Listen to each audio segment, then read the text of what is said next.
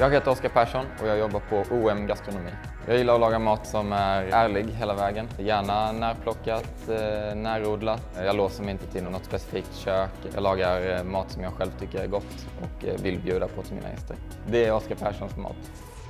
Jag både spelar och jobbar en hel del med padel. Jag tycker att det är den roligaste sporten som finns. Mycket för att det är en individuell prestation men du har också backning från en, en kompis som står bakom dig i samma lag.